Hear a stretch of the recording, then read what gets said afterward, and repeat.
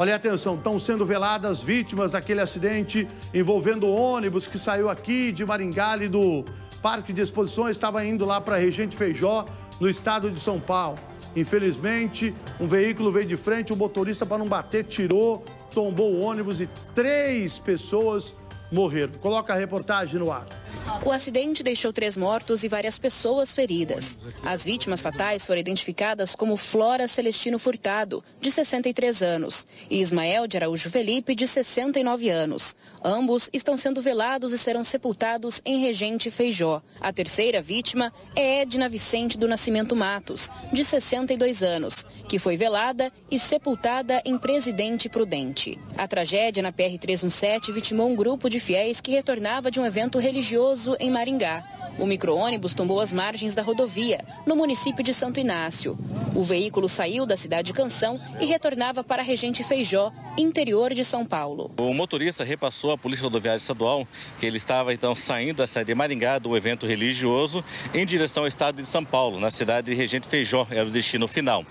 É, nesse percurso, segundo o motorista, ele relatou que um veículo teria feito uma ultrapassagem no local proibido e perigoso, forçando ele a retirar, a desviar ao sentido para evitar uma colisão frontal. E nesse ato ele acabou perdendo o controle da direção e tombando ao acostamento da, da rodovia. Além dos três mortos, de acordo com a Polícia Rodoviária Estadual, outras 19 pessoas ficaram feridas. São homens, mulheres, adolescentes e até crianças. Vítimas que foram levadas a hospitais de Colorado, Maringá e Sarandi. Entre os feridos está o filho da dona Luciene. A família veio de São Paulo para acompanhar o tratamento do rapaz. Ele está na UTI, o estado dele é grave. E a gente está esperando, né, para ver o traumatismo craniano. Agora é só esperar. Um boletim de ocorrência foi registrado e o caso agora vai ser investigado pela Polícia Civil do Paraná. Todos esses fatores serão, já estão sendo verificados, é, principalmente na questão da versão apresentada pelo condutor, a versão de testemunhas que estavam no mesmo local e que pararam para auxiliar e também prestar depoimento.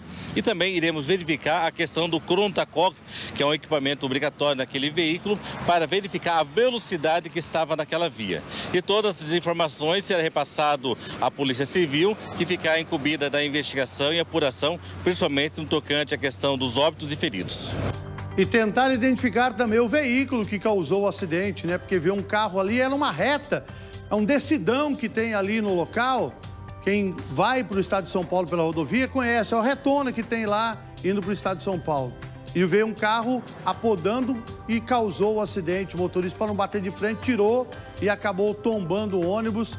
As vítimas mais graves continuam internadas aqui em hospitais, tanto de Sarandi como de Maringá. E aí a foto das três pessoas que, infelizmente, morreram. A Fernanda está me chamando, pode deixar a imagem aí, ela quer falar, porque a empresa emitiu uma nota, a empresa do ônibus, né? Que é uma empresa lá do estado de São Paulo, emitiu uma nota. Lê a nota aí, Fernanda.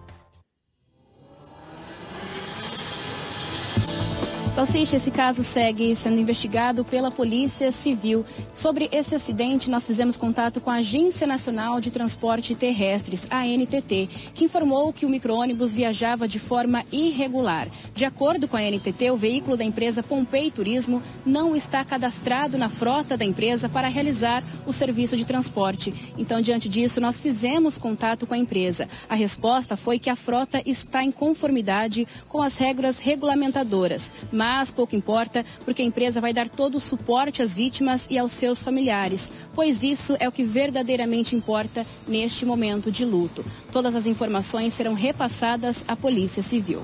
Volto com você, Sal. A gente até viu, né? Aí o, o Bispo Amorim, que é o que fez o evento aqui na cidade de Maringá, lá no Parque de Exposições, lotou o Parque de Exposições e na volta. A gente até viu ontem o um dos funcionários da empresa que concedeu entrevista, eles estão acompanhando as famílias e é de se lamentar, né? Infelizmente, uma tragédia que aconteceu na rodovia que vai aqui de Maringá, sentido ali ao interior do estado de São Paulo.